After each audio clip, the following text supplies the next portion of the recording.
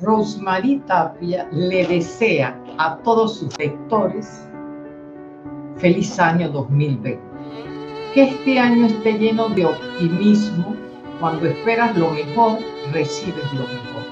Esté lleno de nuevos proyectos, de prosperidad y sobre todo de paz y amor.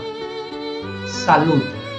Y que todos mis queridos lectores sigan leyendo y los que todavía no son lectores, únanse a la gran revolución por la lectura que tendremos en Panamá. Comenzamos con siembra de lectores. Comunitario, siembra de lectores en los colegios y ahora vamos para la familia. Primero individual, después grupal, ahora que cada familia forme comunidad de lectores para que vean que la lectura nos cambia la vida, nos, enseña a comprender la vida y también nos enseña a soñar, nos da alas para soñar.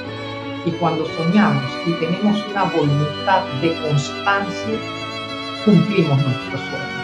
Feliz año para todos, su escritora Rosemary Tapia, un fuerte abrazo.